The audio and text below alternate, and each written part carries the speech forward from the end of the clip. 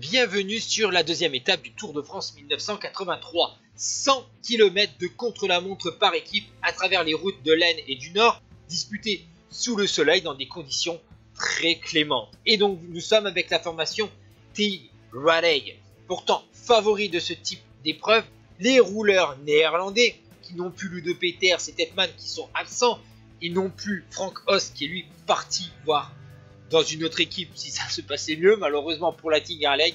Et ben, pourtant, ils vont réaliser les trois quarts de la course parfaitement. Ils étaient premiers après 75 km. Malheureusement, ils se sont écroulés. Il y a eu une crevaison. Malheureusement, l'équipe n'avait pas de force assez homogène, c'était plutôt hétérogène. Et donc, bah, ils ont payé sur la fin de course. Ils réalisent donc seulement le quatrième temps. Ils ont été battus notamment par cette équipe avec le maillot jaune. Eric Van der Harden, il y a Kuiper, il y a Edmonds ou encore Van. La formation Onbed va finir troisième. Malheureusement pour Van der Harden, vainqueur du prologue, maillot jaune depuis deux jours, et eh ben il va perdre son beau paletot jaune parce que ben à cette époque, ce ne se jouait pas autant entre les équipes. On avait des bonifications au fur et à mesure du classement. Bien sûr, plus vous allez vite et vous remportez l'étape où vous êtes dans les meilleures positions, plus bah, vous récupérez des bonifications.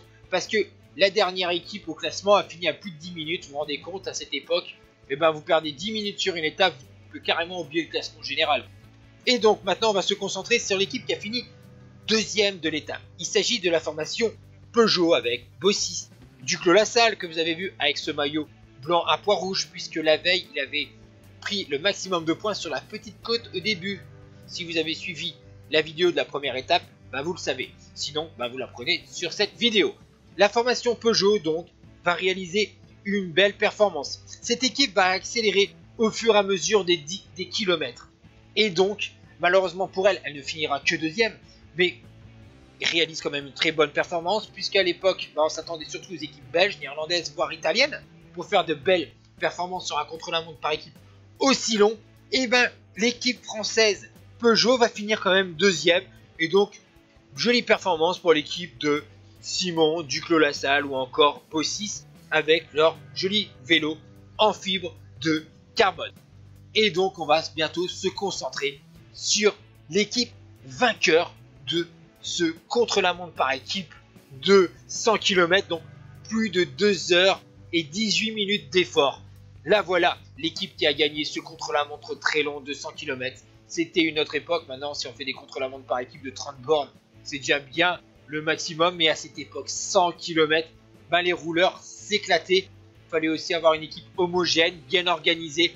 Et c'est le cas de la formation COP Mercier. Avec le dossard numéro 1, Youp Zetemelk, il y a Phil Anderson, il y a Laurent, il y a Michaud. Et le sprinter Gauthier, deuxième de l'étape de la veille. Cette équipe va réaliser une très grosse performance. Elle était pourtant deuxième derrière la redoute après 30 km, mais cette formation va parfaitement gérer ce très long effort, va rester très bien placée avant d'accélérer sur la fin et remporter cette deuxième étape.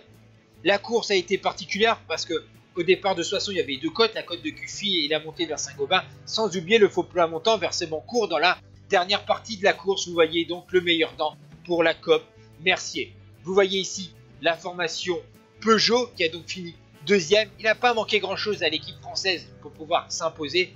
Malheureusement, vous allez voir, bah, ils vont rater le maximum de bonification pour peu de choses, alors que vous voyez que ils vont passer la ligne avec un temps de 2, heures, 19 minutes et 16 secondes. Joli donc maillot jaune pour Gauthier, donc le sprinter de cette équipe. Maintenant, on va se concentrer sur le classement de cette deuxième étape. Mercier, Peugeot, Anvel, Tiralek, Wolbert, Mavic, Gitane. Et le classement général, Gauthier, 2 secondes devant, Zotomek, son leader. Ciao tout le monde